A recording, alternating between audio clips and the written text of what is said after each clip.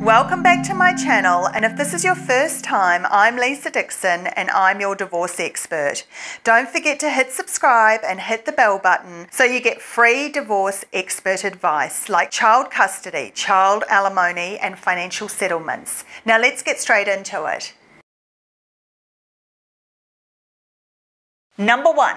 Number one is all about the value of your home. You've got to keep the value low keep it low, get it low, get the valuers to make sure that the market is in a low point, that you've got lots of obstacles around, and therefore your house is not worth as much as maybe the house next door or the house behind you. It's all about keep the value low. Must not buy anything during your divorce. Another client of mine, she had two little ones and she was living back at home and she desperately wanted to get out and buy a unit, buy her own apartment. And I said to her, but if you do that, it's going to be shared property. It's going to be something that you have to share with your ex.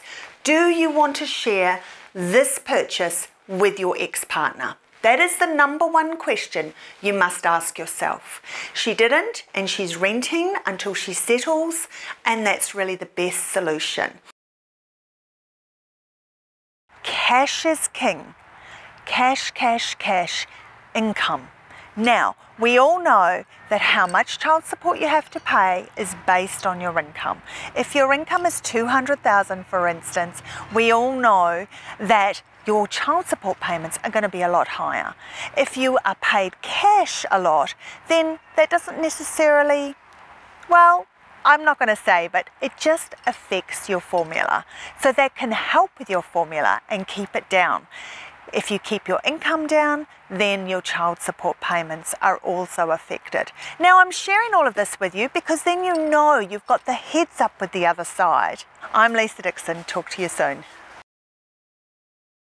Música